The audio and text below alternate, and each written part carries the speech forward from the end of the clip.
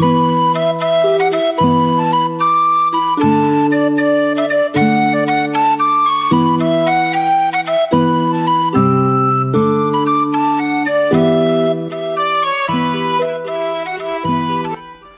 to Highland Waves, a podcast coming to you from Marshbrook Studios, located beside the world renowned Margaree River in Cape Breton, Nova Scotia, Canada. Highland Waves feature stories about the people, the places, and the visitors of Inverness County. I'm Pat Wall, host of Highland Waves.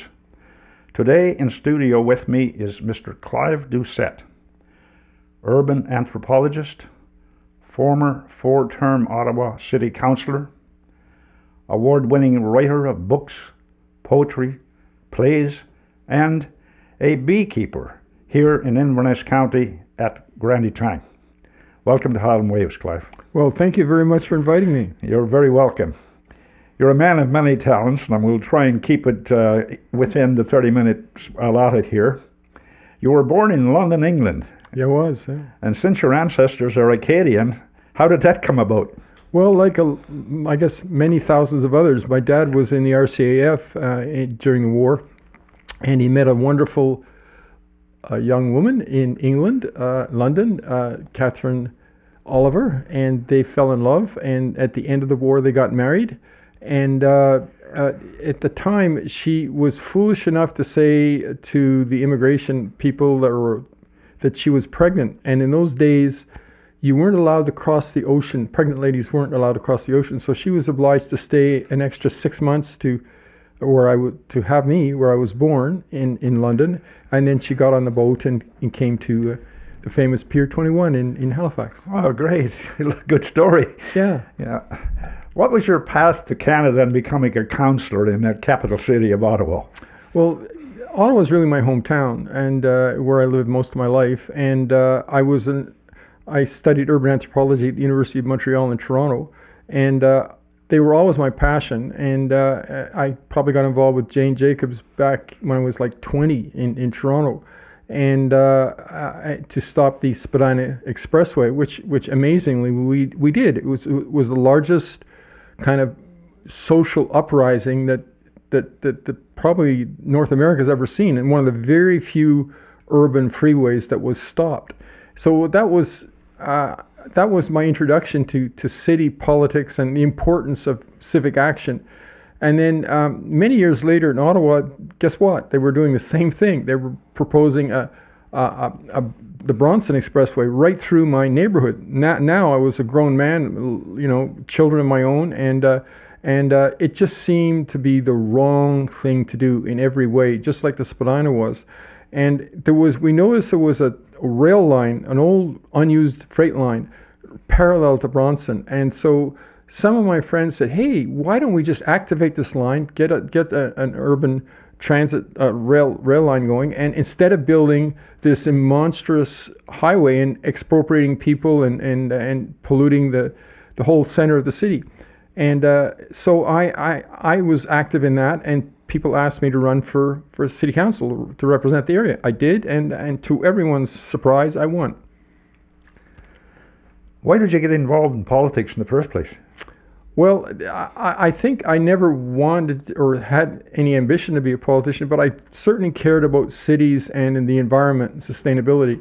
And I, and I saw uh, cities going in the absolute wrong direction, sprawling out further and further, investing more and more in, in big highways and and uh, it, it's I suddenly realized that city the city level of politics had a huge impact on that. So once I realized that, I thought instead of working for which I did for the Ministry of State for Urban Affairs and for Municipal Affairs for the pro- province of Ontario, I decided that, that that maybe the place I should be was in city politics, and it turned out to be exactly right. After your time in politics, do you feel that you left the people who you represented better off than before you went in?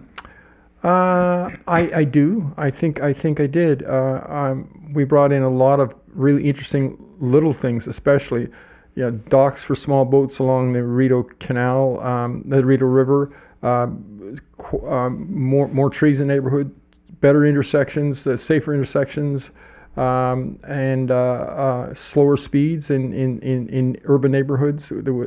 Uh, all kinds of small things, different standards for sidewalks, wider sidewalks.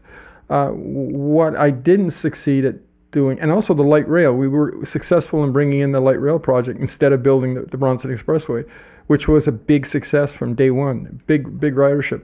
But I didn't really succeed as getting people to change their vision. I eventually ran for mayor, and uh, and I was quite popular as a city councilor. Uh, but at the, at the mayor's level, which includes vast suburban areas in in in in, in Ottawa, I just couldn't turn turn the corner. So I would say I would give myself a mixed report. I think.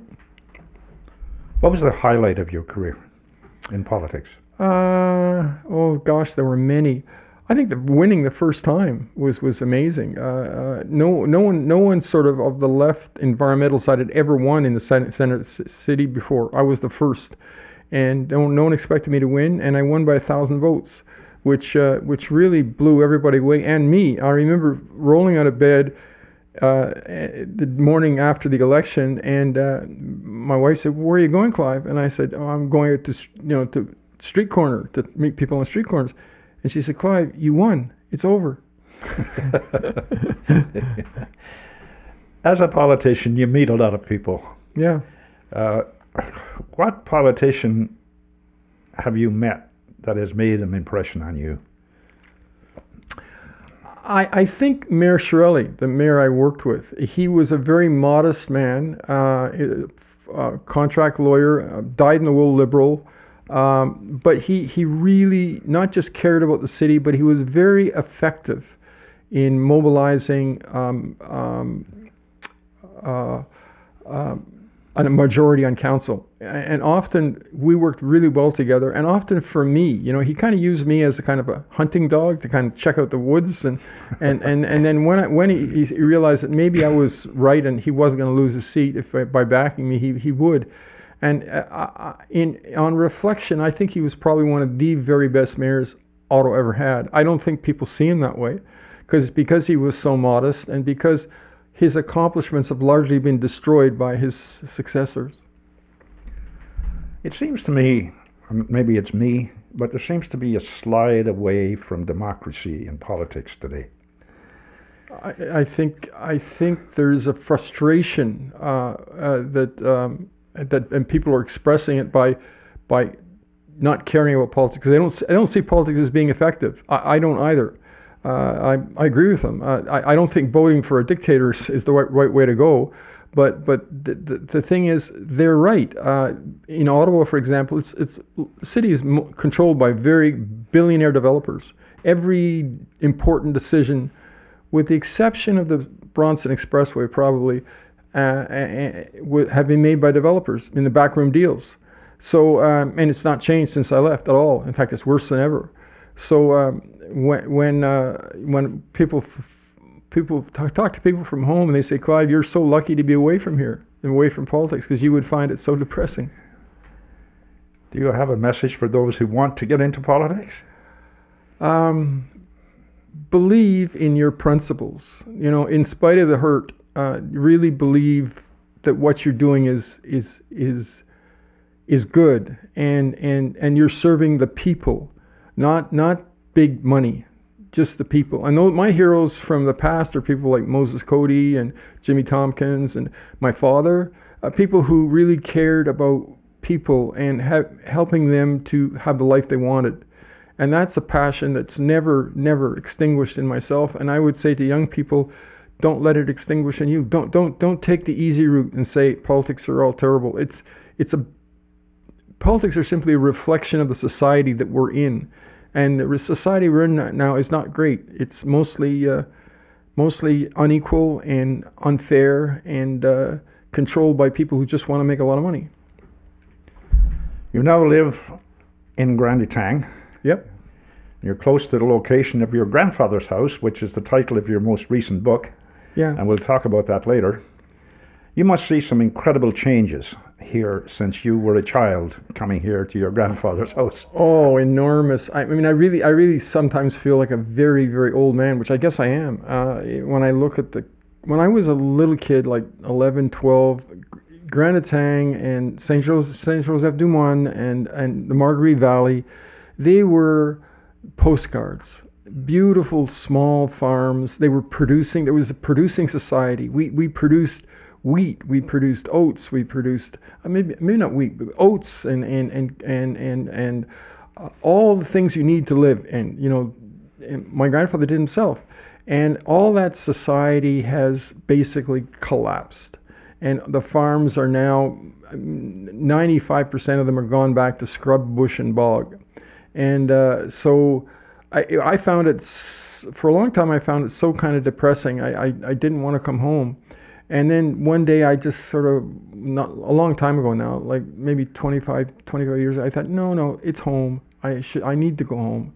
And, uh, and that's when I, I started thinking about buying a place and, and, and maybe uh, maybe I can't change the world, but I have eight acres and I, I work hard at having those little eight acres be the way my grandfather would like. It's uh, there's certainly been big changes. Yeah. And uh, are they for the better in your opinion? Uh, some of them are. Some of them are definitely for the better. Um, uh, the music and the and the culture has has really really gone well. Uh, I think we're a much more open society now than we used to be. Uh, my mother was the first non-Catholic ever married into the Doucet family, and she was like an Amazon flower. No one could quite un- understand, you know, English, uh, Protestant, ooh, um, and uh, um, and fortunately that's that's largely gone, which is great, and uh, people are more open to other cultures and other other languages and so forth. Uh, that's the good side. The bad side is that we're, we're, we're much like the cities, uh, you know, that we're controlled by big, big money uh, and, and, and uh, the kind of society that, the, that I belong to as a, as a kid is largely not here. You know, if I want my grandchildren to come down and visit, um, they, they can't take the milk out to the end of the road as I did for the, for the dairy to go by. And being I learned a lot. I, uh, I didn't realize how much I ever learned. Uh, but when you, I, I just went with my grandfather from six o'clock in the morning to when I went to bed at night, 10, 10 o'clock at night. No, no kid does that anymore. It just, it's they go to my my grandchildren go to camps in the city. Uh, they can't imagine hanging out with anyone for an old guy like me. For for I never thought twice about it. My my dad said when I was sort of 11, 12, she, he said Grandpa, grandma's died, uh, and grandpa's alone with with his sister. He needs some help. You you you go down to Cape Breton and, and give him some help. And it never occurred to me to say, Dad, Dad, I'm not going to do that.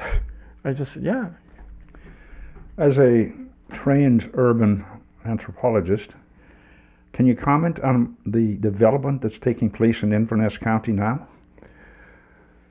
Uh, some of it's good, uh, and and I think the lack of um, development controls on the on the on the on the shore and the prov- provincial refusal to enact the uh, the uh, Protection Act, uh, the Shore Protection Act, is terrible, because what it means is, I mean, there's a house uh, built down from me. It's it's like 30 feet from the edge of the cliff, on a on a postage stamp, and I guess what happens is the pump truck comes in. It, it, there's no septic system and it's it's dangerous. And plus, people come to Cape Breton because it's got one thing that many other places on the planet don't doesn't have.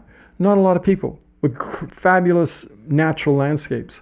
So every time we chip away at that, you know, we, we, we hurt ourselves. We, we want to, we should protect, we should protect those views in, a, in, in, in our natural world the way we, we, we, we protect gold in our banks.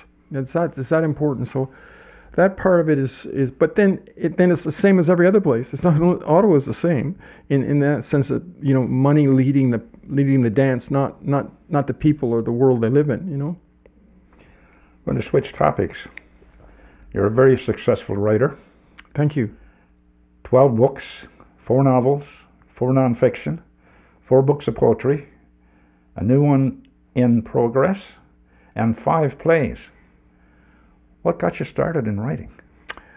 Um, well, some kids are great at at uh, playing the fiddle, and are amazing at it. Some kids are great at playing guitar. Uh, um, I, I was always really good at writing. I, it just came to me absolutely naturally. I, I think I had my first poem published when I was in grade five in Newfoundland. in the school annual, uh, I went to a, uh, in this, had a contest, and and uh, and, that, and not that I, my mother just said you should enter this club, so I entered and I, and I won, and uh, and uh, but I, I, never really set out to be a writer. I, I didn't have this thing. I am going to be the great Canadian writer. I just it's just something I did easily and well, and I, it was part of my life, you know. So I, I wouldn't define myself as so much as a writer as just a just a person, you know. Your book, My Grandfather's Cape Breton, was published in 1980. Mm. Still in print. Well, yeah. That's an accomplishment. It is. It's. It is an accomplishment. It's a wonderful thing to have 50 years later to have a book that you love uh, still in print. Most of my books are not in print anymore. Uh, they've you you, the publishers go through an edition and then they they, they, they, they stop publishing. So it's that's. I think it's it's a it's is to Cape Breton what probably Anne of Green Gables is to to uh, PEI. It's a, it's a, it's just this very simple story of a young youngster getting to know his his his grandparents and his relatives and and getting to have a little bit of confidence in their own ability to lead a useful life. Yeah. That's why you think it's so successful. I, I think so. Yeah, it just says people, everyone, little ones, everyone have grand, has a grandparent and everyone, I think, uh, loves Cape Breton because it's a great place to be. You write excerpts from your book of poetry for the local newspaper, mm-hmm. and uh, therefore writing is never far away. No. So, uh, where do you get your inspiration from? From life. Uh, I, I, read a little column for the Oran called Talking to Bees, which I never would have written in Ottawa in a gazillion years because uh, I would never have had bees. Uh, but but uh, I, I've learned being becoming a, a beekeeper is a great adventure, and bees are fascinating, fascinating creatures, and and that people have been talking to bees for many centuries. Uh, there's the tradition that uh, when somebody important in your family dies, and, and, it came to the press's attention when the queen died, that the queen's beekeeper went and said, you know, the lady has died. And so, so it's a tradition that goes back, oh, probably many hundreds of years. And I didn't know that when I, but I, I just found sitting in my bee yard with the sun shining and the quiet buzz of the bees to be very, very calming and relaxing. And I started, it started me thinking differently. And, and so, so it's, Cape Breton has always been a great source of creativity for me and remains so to this day. Writing often is a lonely endeavor. Mm. Is it for you? I, I wouldn't say so mm, uh, entirely. It, it's, it, it engages me with the world. It engages me with my neighborhoods, neighbors, and, and uh, engages me with life. Uh, it, so on one, the one hand, I would say not at all. On the other hand, it does a little because often people say, Clive, you you you don't have you don't have a partner living in that big house all by yourself. You know what's what's wrong with you? Well, you know, I, I have books and, and writing, and, and that to me is sort of like uh, Cicero once said, all a person needs is is is a, a, a, library and a pen, and that's sort of the way I feel often. Okay. Your follow up to the grandfather's Cape Breton book is the grandfather's house. Yeah. And amongst the other stories in it, you chronicle your transition from grandchild to the grandfather. What are your fondest grandchild memories? Oh my gosh, I've got so many. Um, Just briefly. Yeah. Kids used to sleep at our house on the weekend at, at night, uh, off every second weekend, and that was always fun. Watching Harry Potter with my with my grandson Felix. Uh, great, great. Eating popcorn, watching Harry Potter was great, uh, and uh, going for walks, slides. That's all the simple things of, of life. Now a grandfather yourself, how do you feel life in between has affected how you act as a grandfather? Um, it's it's made me much more, um, I guess, humble and cautious about my own capacity to be right about anything, and, and uh, so I it's it's I I. I uh, just it, it's, it's made relating I think to people uh, relating to, relating to my grandchildren and people to be much easier. Okay. What, in your opinion, are the greatest qualities of a grandfather? Just love. Be a good swimmer. Swimmer is, is yeah. If you're taking your kids to the beach, it's good if you can swim. Do you feel in society in general that it's beneficial to the younger generation or becoming more beneficial to them? To to what? Uh, is society moving in the direction that you feel the younger society would like to attain to? Ah, in some ways, yes. Uh, I, I, I love the fact that I think we're moving towards an, an, an idea that we are a human species first and not uh, a Frenchman or a or a Jew or a, a Muslim. We're, we're people first, and, and, and that's what we are. And I was an anthropology. It's the study of humanity, not the study of one person, one group, or one. And and I think Facebook and, and the internet has, has made people capable of thinking about someone in far, far away uh, as as like them, and that's great. Uh, the bad thing is, I think uh, w- we haven't learned how to govern ourselves differently than locusts do. If we could govern ourselves like bees, we'd be okay. But basically, we we, we still trash everything we see as fast as we can for the biggest profit as we can, no matter what it is, whether it's people or gold or oil. And I think that's uh, that's the biggest step we have to make. How do we translate this feeling of common humanity into common sustaining societies? You spoke of bees. You are a beekeeper. Mm. What got you started in beekeeping? Uh, romance. I just it seemed to be so romantic to be living in the country and have some hives and uh, uh, and it did turn out to be that way. It's it's a very romantic endeavor, uh, and uh, so maybe even a book somewhere, books about bee-clad glades by poets and stuff, and yeah, it's a it's a nothing practical at all it comes through in your writing about the bees that your yeah. love of bees oh, is yeah. it's I, there. I do, I do, yeah. I love them. And what does it do for you? Well, I get some honey. Uh, I so far I've uh, I, they've survived every Cape Breton winter, uh, and uh, except for one. I one hive went down this this year, uh, and the, the, honey is wonderful. I get to give it to my friends uh, when when I have extra, and it just it attaches me to the land in a in a in a way almost nothing else does. You the bees if it rains too much or blows too much, I've got to feed them because they're going to starve. And uh, okay. and also they're they're their own people, you know, their own not people, but their own. They they're not interested in us as human beings. They're not like people think bees will sting you. They have no interest in. They're vegetarians. the only time they will ever sting you is if you actually take their hive apart, which is tricky, and then you have to have a bee suit. But you can sit. I sit in the bee in the bee yard all the time, in shorts and bare arms, bare legs, and the bees land on my naked knee and just they're not interested in, in me and and and realizing how complex and amazing the planet is that's what they help me understand you don't sell your honey you just do it as a hobby yes it's just a hobby okay. What advice do you have for people who want to start beekeeping um think a lot about if you're in Cape Breton about where you're going to put your hives, uh, especially in if you're in in my part, which is North Inverness, because they, they can't tolerate too much wind. And I have in Grand Etang, as everybody knows, you got more wind you can.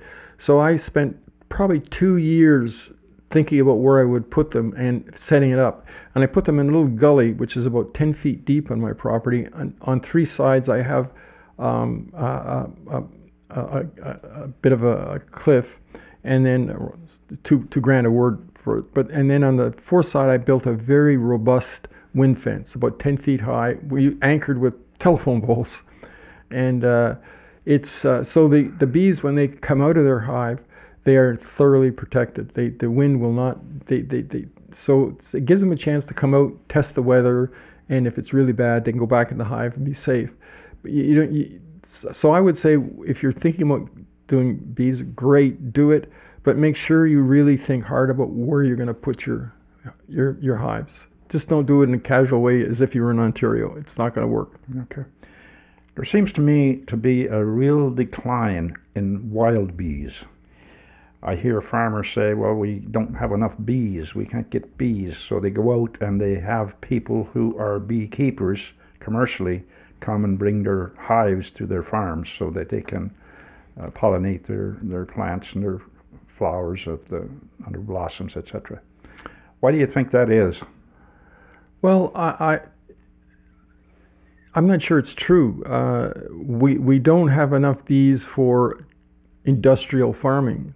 If you if you've got 100 acres of cranberry bushes or, or almonds or whatever, you know, probably are not enough local bees to, to pollinate your, your plants. Or, but but if you're a normal, an old-fashioned farmer and have a small, you know, blueberry yard and small uh, a small cranberry bog, and you know, there's plenty of bees. But uh, the industrial level, I think one third of all the bees in United States are in Northern California in the spring to pollinate the the almond trees. You know, and uh, uh, you can't do it any other way. So, so I don't, I don't. I guess I don't agree with them. Okay. Before we wrap up, have you got any comments to make about life in general, the environment in particular? In what? In the environment in particular? Um, about life in particular, as I feel charmed and, and, and lucky to be having a healthy, healthy, wonderful life with with friends and, and, and things that that that light my soul. Um, what else? Uh, just uh, I can't. I no longer think that I can change the world, so I, I don't try. So uh, I won't answer the second part of the question. Okay. Well, thank you for that, and thank you for coming to talk to our listeners this morning. We really appreciate it. You lead an interesting grandfather life. Thank you. And we wish you well with that, and with your writing, and avoid those bee stings. I will. I will do my best. Thank you for listeners as well. And a reminder to hit the like and subscribe button so you can stay up to date. And remember, subscribing to Highland Waves is free. Our quote for today is by Albert Camus, who said, The purpose of a writer is to keep civilization from destroying itself. So long for now, Pat.